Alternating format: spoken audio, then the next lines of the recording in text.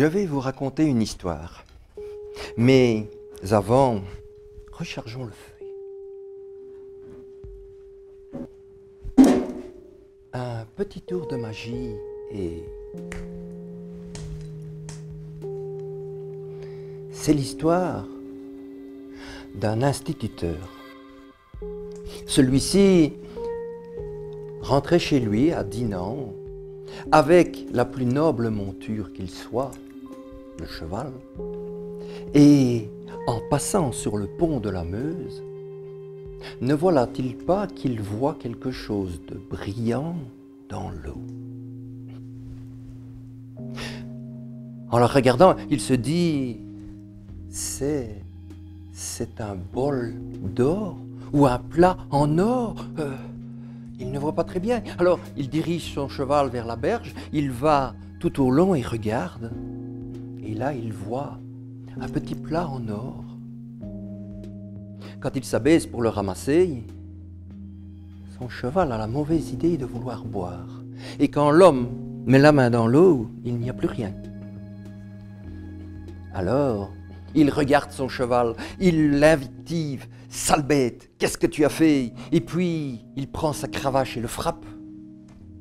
Et le pauvre animal ne sait rien, ne sait pas pourquoi. L'instituteur, le lendemain, est allé voir le vétérinaire. Quand il a vu le vétérinaire, il lui a expliqué que son animal avait mangé son plat en or. Eh bien, dit le vétérinaire, il suffit simplement de lui donner un petit, un petit laxatif et ça va aller.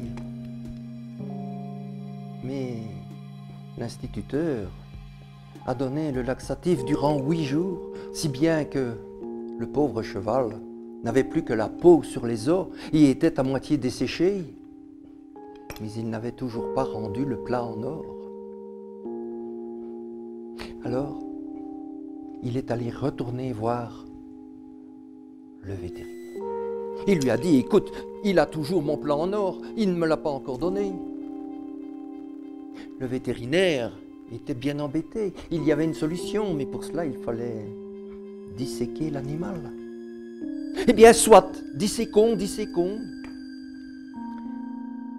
Après bien des réflexions, le vétérinaire accepta. Et l'animal, entièrement dépecé, avait autant d'or en lui qu'un chauve avait des cheveux sur la tête. Le vétérinaire alors demande à l'instituteur, mais es-tu sûr que ton cheval a mangé ce plat en or? Mais oui, je l'ai vu. Viens, je vais te montrer. Et l'instituteur tire le vétérinaire, l'emmène sur le pont de la Meuse et lui dit, regarde, c'était là et là, le plat y est encore? Mais c'est mon or, c'est mon or qui est là, là. Mais quand le vétérinaire regarde, il ne voit rien. Il ne voit que l'eau et la nuit. Alors, il lui dit, si ton or apparaît et disparaît, c'est peut-être l'œuvre du diable. Et dans la Meuse, qui sait ce qu'il y a? À ces mots, il se mit à regarder le ciel. Et en regardant le ciel, il vit que celui-ci était étoilé, mais avait un nuage. Et ce nuage cachait les reflets de la lune. Quand le nuage est parti, l'instituteur a crié ⁇ Mon or, mon or, il est là, il est là, mon or !⁇ Le vétérinaire eut beau lui expliquer c'était le reflet de la lune dans l'eau. Il fallut qu'il aille, qu'il se trouve là où il y avait le reflet, qu'il y mette les mains dans l'eau et là, il se rendit compte que ce n'était qu'une chimère, qu'il n'avait pas de trésor, mais qu'il n'avait pas décroché la lune non plus. Les deux hommes, l'histoire ne dit pas s'ils ont été vider leur amertume dans l'alcool. L'un pour sa cupidité et sa bêtise, et l'autre pour le fait d'avoir fait un pacte avec sa conscience.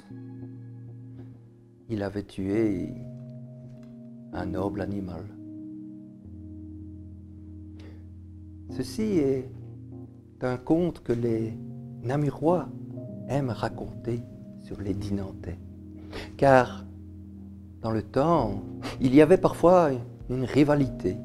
Et cette rivalité se faisait parfois via les histoires et les contes. Ne croyez pas qu'ils ne s'entendent pas, que du contraire. Mais ceci sera une autre histoire. En attendant, n'essayez pas de chercher des trésors et de vouloir décrocher la lune. C'est des chimères. Mais en attendant, vous pouvez aller visiter Dinan. C'est une très belle ville et vous découvrirez peut-être un disque dans la Meuse.